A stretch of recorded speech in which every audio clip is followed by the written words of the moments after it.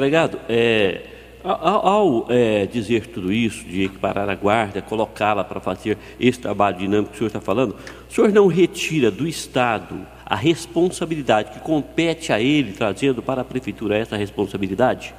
É... O senhor não dá uma aliviada, uma folga para é, o Estado na questão da segurança pública?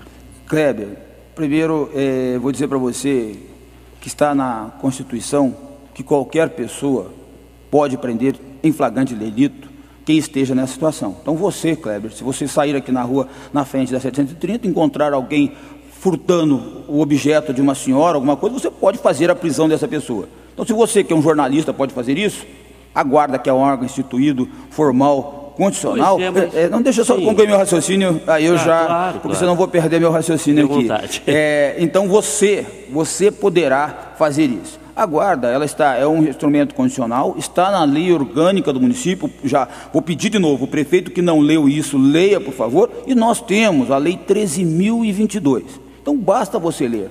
Agora, em relação a atribu ser atribuição do Estado, do município, né, eu diria para você o seguinte: se eu quero ser prefeito de Goiânia, eu tenho que cuidar das pessoas. Né, e hoje, hoje não, há muitos anos, é? e Goiânia não entrou, não passou a ser a 29 cidade mais violenta do mundo à toa. E toda a demanda, todas as pesquisas que nós fizemos desde o ano passado, seis pesquisas, as pessoas que nós colocamos na rua, nas caminhadas que eu tenho feito, a, a no, 70% da sociedade quer uma ação de um prefeito na área da segurança pública. Eu entendo, e se, vai ver só terminando o raciocínio. Claro. É, e se o Estado faliu e não deu essa condição, é o grande calo do atual governo, a insegurança pública. Se ele não conseguiu realizar, eu não posso amanhã, como prefeito de Goiânia, e essa sendo, a principal demanda das pessoas que moram nessa cidade, dos empresários. Eu vou, vou dar uma dica, uma dica para você. Você sabe que é, o, o Rubens Salomão aqui, né, que tem um apartamento ali no, no, no Marista.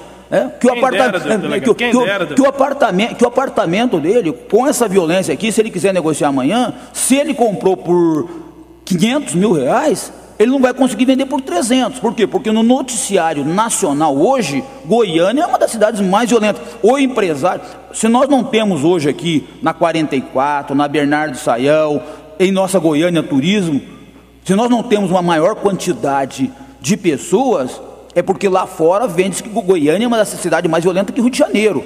É uma cidade mais violenta que São Paulo. Eu estou mentindo. Muitos turistas deixaram de ir para o Rio de Janeiro em razão da questão da violência. E nós não podemos negar essa violência que existe em nossa cidade. Todo dia na imprensa, se você abre. Hoje os policiais estão. Não é só o cidadão, não, é os policiais. Então, eu, como prefeito, amanhã, não vou, não vou, não vou ser secretário de segurança, não. Nós teremos. Mas nós, nós, já que o Estado não deu conta de resolver o problema de segurança pública em Goiânia, nós vamos ajudar.